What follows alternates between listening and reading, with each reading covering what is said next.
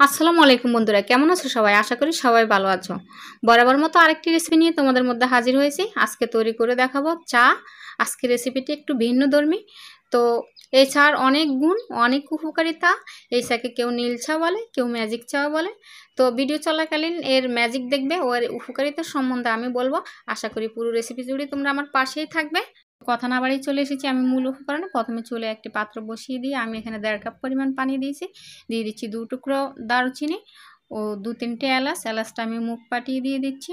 দিয়ে দিচ্ছি সামান্য পরিমাণে লবণ। দিয়ে দিচ্ছি এক চা চামচ, এক, সরি, এক চা না, এক টেবিল চামচ চিনি দিচ্ছি। তো আমি এটাকে ডাকনা দিয়ে রেখেছিলাম দুই তিন মিনিট। দুই তিন মিনিট পর আমার চাটা ফুটে উঠেছে। এবার আমি দিয়ে দিব তুলসী পাতা। এতে করে যাতে ভালো একটা ফ্লেভার আসে, তুলসী পাতাটা পরে দিলাম যাতে ফ্লেভারটা থেকে যায়। তো এই পর্যায়ে দিয়ে দিব আমি সেই কাঙ্ক্ষিত জিনিস। দেখতে পাচ্ছ এখানে তিনটি নীলকণ্ঠ ফুল আছে।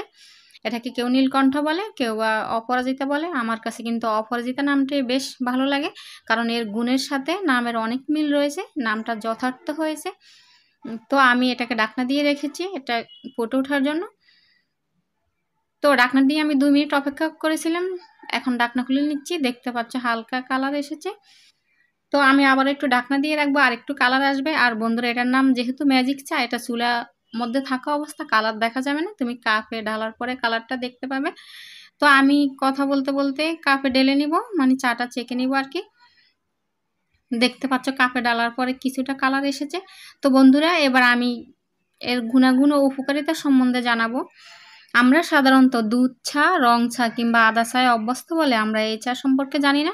আরেকটি উপকারী ও ভেষজ গুণে ভরপুর চা হলো এই নীল চা বা ম্যাজিক চা। নীল ছায়ে রয়েছে অ্যান্টিঅক্সিডেন্ট, যা হজমে সাহায্য করে ও বমিভাব কমিয়ে দেয়। এছাড়া মস্তিষ্কজনিত সমস্যা, ডিমেনশিয়া রোগীদের জন্য অত্যন্ত উপকারী। এছাড়া রোগ প্রতিরোধ ক্ষমতা বৃদ্ধি করে, ঠান্ডাজনিত সমস্যা দূর করে।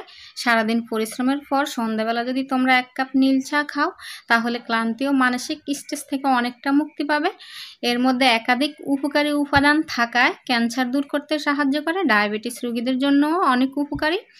ত্বক চুলের যত্নে এ চা বিশেষ ভূমিকা পালন করে। তো বন্ধুরা, আমি বলেছিলাম ম্যাজিক চা। তো এখন আরেকটি ম্যাজিক দেখাচ্ছি। আমি চায়ে এক টুকরা লেবু রস মিশিয়ে দিচ্ছি, দেখতে পাচ্ছ? তো লেবু রসটা মিশিয়ে দিয়ে এখন আমি এটাকে নেড়ে দিব।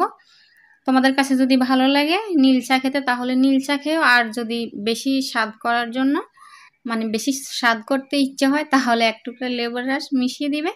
লেবুর রস মিশানোর পরে দেখতে পাবে এর আসল ম্যাজিক তোমরা ভিডিওতে দেখতে পাচ্ছ লেবু রসটা মিশানোর পর আমি নেড়ে দিচ্ছি। নাড়ার পরে রঙটা নীল থেকে বেগুনি হয়ে গেছে। এরই নাম হলো ম্যাজিক চা। তো বন্ধুরা, এই চাটি আরও উপকারী দিক হলো, এ চায় প্রচুর পরিমাণে অ্যান্টিঅক্সিডেন্ট থাকার কারণে এ চা বয়সের চাপ পড়তে দেয় না। সুন্দরী তরুণীদের জন্য এ চা বিশেষ ভূমিকা পালন করতে পারে। যদি সকালবেলা ঘুম থেকে উঠে সকালটা শুরু করতে চাও এই নীল চা দিয়ে, তাহলে খুব উপকার পাবে। বন্ধুরা, এর উপকারিতার কথা তো অনেক বললাম, এবার এর পরিমাণ বলব। তো ভিডিওতে তোমরা অবশ্যই দেখেছ, আমি দেড় কাপ পানি দিয়েছি। দেড় কাপ পানি শুকিয়ে এক কাপ চায়ে হয়। তো আমি এক কাপ ছায়ের জন্য তিনটি ফুল দিয়েছিলাম। তো তোমরা সারা বছর ধরে এভাবে চাটা ব্যবহার করতে পারবে। তো সারা বছর কীভাবে ব্যবহার করবে? সিজনে ফুলগুলি শুকিয়ে একটি এয়ারটাইট কন্টেনারে ভরে রাখবে, তাহলে সারা বছর ধরে ব্যবহার করতে পারবে।